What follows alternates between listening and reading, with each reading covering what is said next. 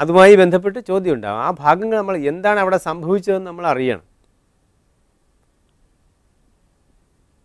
ഇവിടെ ഏക്ക് ഹാത്തി മർ ഗയ और इस संबंध में अखबारों में समाचार आया एक दिन झुंड से छूटकर एक हाथी തോർപ്പ ബ്ലോക്ക് പഹുഞ്ച കാടൊക്കെ വെട്ടി നശിപ്പിച്ചതിന് ശേഷം ആനകൾ ഇങ്ങനെ അലഞ്ഞു നടക്കുകയാണ് ജീവിക്കാൻ ഇടമില്ല വിശ്രമിക്കാൻ ഇടമില്ല പക്ഷെ ഒരു ദിവസം ആ കൂട്ടത്തിൽ നിന്ന് ഒരു ആന കൂട്ടം തെറ്റി തോർപ്പ എന്ന് പറയുന്ന ഒരു ബ്ലോക്ക് ഒരു പ്രദേശത്തേക്ക് വരിക. ഷോക്കേറ്റ് മരിക്കുക. നമ്മൾ സംഭവത്തിൽ വായിച്ചെടുത്തത് ഇനിയും ഉണ്ടല്ലോ. ആളുകൾ കൊമ്പ് വെട്ടിക്കൊണ്ടുപോയി. മരിച്ചതിന് ശേഷയും ശേഷവും ആനയെ ഉപദ്രവിച്ചു. പക്ഷേ ഇതറിഞ്ഞ ആനക്കൂട്ടം കുറച്ച് ദിവസങ്ങൾക്ക് ശേഷമാണെങ്കിലും അവിടെ വരികയും പിന്നെ ആരെയും തൊടാൻ സമ്മതിക്കാതെ ഈ ആനയെ വലയും ചെയ്തു നിൽക്കുകയും എവിടെയോ ഒരു കുഴി കണ്ടെത്തി ഈ ആനയുടെ ശവശരീരത്തെ അതിനകത്ത് കൊണ്ടിടുകയും കിട്ടിയ വസ്തുക്കൾ ഉപയോഗിച്ച് കുഴി മൂടുകയും ചെയ്ത ഒരു സംഭവമാണ് നമ്മൾ അതിൽ വായിച്ചത്. അതുമായി ബന്ധപ്പെട്ട ഒരു പ്രവർത്തനം ഒരു മൂല്യനിർണയ പ്രവർത്തനം എന്താണ്? एक दिन झुंड से छूटकर एक हाथी तोरपा ब्लॉक पहुंचा उसने कई घरों और इंसानों को रौंद डाला എന്തായാലും ഇങ്ങനെ ഒരു സംഭവം നടന്നിട്ടുണ്ടെങ്കിൽ പത്രങ്ങളിൽ വാർത്ത വരും അതുകൊണ്ട് എന്താ ഇസ് സംബന്ധമേ അക്ബാരോ മേ സമാചാർ ആയ ഓ സമാചാർ കൽപ്പന കർക്കെ ലിഖേ അപ്പോൾ ഒരു ആന കൂട്ടം തെറ്റി വരികയും കണി കണ്ടതൊക്കെ നശിപ്പിക്കുകയും ചെയ്തു അല്ലേ അങ്ങനെയാണെങ്കിൽ ആ വാർത്ത പത്രത്തിൽ വന്നാൽ എങ്ങനെയിരിക്കും നമുക്ക് നമുക്കറിയാം പത്രവാർത്ത തയ്യാറാക്കുമ്പോൾ എന്തൊക്കെ വേണ്ടാണ് നമ്മളെ ക്ലാസ്സിൽ ശീലിച്ചതാണ് അതിനൊരു തലക്കെട്ടുണ്ടാകണം उचित शीर्षक होना है ये घटना कहाँ हुई है कब हुई है मुख्य बातें मुख्य घटना क्या है ആദി കാ ഉല്ലേഖ് കർണ ഹെ അപ്പോൾ വായിക്കുന്ന ആളിന് സംഭവം ബോധ്യമാവണം അപ്പോൾ അത്തരത്തിൽ ഒരു സംഭവം നമ്മൾ എഴുതണം പക്ഷേ ഇവിടെ നമുക്ക് മറ്റു ചില കാര്യങ്ങൾ കൂടെ അറിയാം.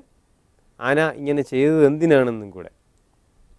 ജീവിക്കാനിടമില്ലാതെ കൂട്ടം തെറ്റി ആനയാണ് കൂട്ടം തെറ്റി നാട്ടിലേക്ക് ഇറങ്ങുമ്പോൾ ആന ഇത്തരം പ്രവർത്തനങ്ങൾ ചെയ്യും. പക്ഷേ അതിന് മുമ്പുള്ള കാര്യങ്ങൾ കൂടെ നമുക്ക് ഈ വാർത്തയിൽ സൂചിപ്പിക്കാം. മുമ്പൊന്നും ആന ഇങ്ങനെ ഇറങ്ങി വന്നിട്ടില്ല. കാട് വെട്ടി തെളിച്ചതിന്റെ ഫലമായി. അപ്പോൾ ഇത്തരം കാര്യങ്ങൾ സൂചിപ്പിക്കുക. അതിന് എന്തൊക്കെയാണ് വേണ്ടത് എന്ന് സമാചാർ തയ്യാറാക്കുമ്പോൾ खोज शीर्षक गणना कहाँ हुई है, कब हुई है, मुख्य बात क्या क्या है, आदि का उल्लेख करना ही चाहिए। और देखिए, बिजली का झटका लगा और हाथी मर गया। इसका समाचार अखबार में आया, हाथी के साथी, गणना के आधार पर वो समाचार तैयार करें। अतर प्रवर्तन है അപ്പോൾ ഇത്തരത്തിലൊരു വാർത്ത തയ്യാറാക്കാം എന്താണ് ഇത് കൈ ഘരവും കോ രൗന്ത് ഡാല वो भी एक समाचार है ബിജലി ക ജഡ്ക ലഗ അവർ ഹാത്തി മർ ഗയ ഇങ്ങനെ ഒരു സംഭവം ഉണ്ടായാലും പത്രവാർത്ത ഉറപ്പ് അപ്പോൾ इसका समाचार अखबारों में आया है हाथी के साथी गणना के आधार पर वो समाचार तैयार करें അപ്പം നമ്മൾ ഇത്തരത്തിലൊരു വാർത്ത ചമച്ചാൽ പോരാ ഇവിടെ പ്രത്യേകം സൂചിപ്പിക്കുന്നുണ്ട് ഹാത്തി കെ സാധി ഘടന കെ ആധാർ പർ वो समाचार तैयार करें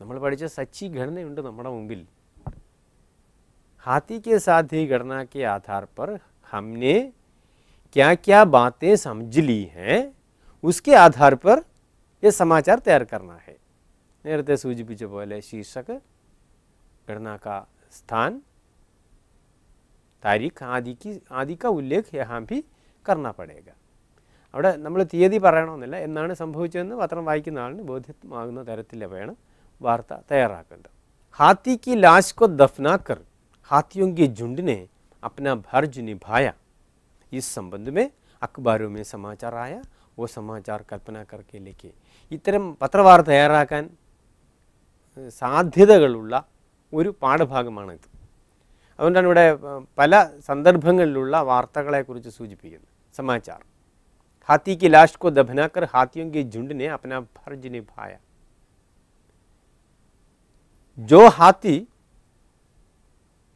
बिजली का झटका लगाकर मर गया है उसकी लाश को दफनाया आ- मानव ने मानव ने नहीं हाथी ने ही किया है ആ ആനയുടെ ശവശരീരത്തെ ആളുകളാണ് കുഴിയിൽ കൊണ്ടിട്ട് സംസ്കരിച്ചതെങ്കിൽ പത്രത്തിൽ വാർത്ത വരില്ല. ഇത് ഉറപ്പായിട്ടും വരും. എന്താണ്? ഹാത്തി കി ലാഷ് കോ ദബ്നാക്കർ ഹാത്തിയോങ്കെ ജുണ്ടിനെ അപ്പന ഫർജ് നിഭായ.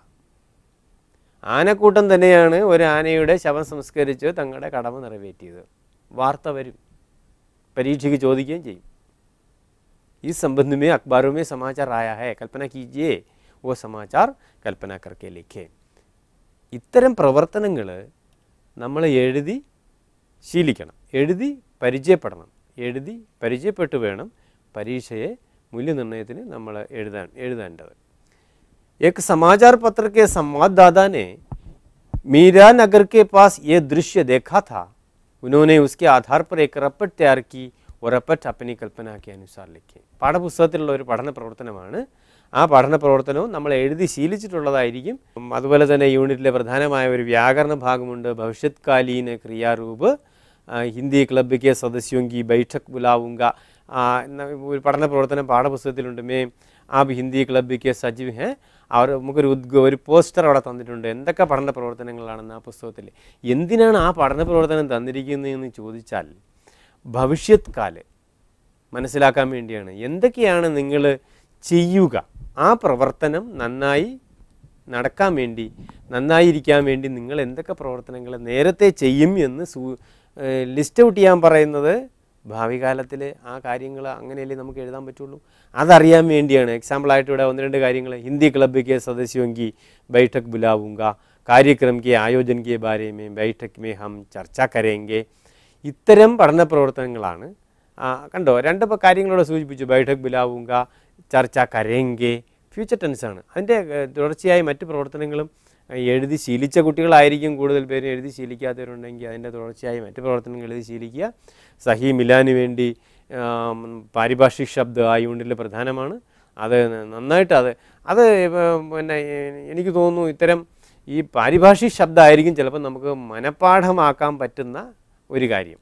ഈ പാഠപുസ്തകം നമ്മൾ പരിശോധിച്ചാൽ പരി മൂല്യനിർണയത്തിന് വേണ്ടി. ഇത് വായിച്ചു വയ്ക്കുക. ഇന്റർനെറ്റ് ടെലിഫോൺ ടെലികമ്മ്യൂണിക്കേഷൻസ് ഇന്ററപ്ഷൻ അതിന്റെ സഹി മിലാനാണ് ശരിയായി യോജിപ്പിച്ച് അത് പഠിക്കാൻ ശ്രമിക്കുക.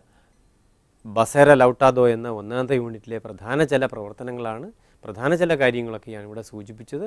അതിൽ മൂല്യനിർണയ പ്രവർത്തനങ്ങളും മാതൃകയായി ചിലത് ഇവിടെ സൂചിപ്പിച്ചു.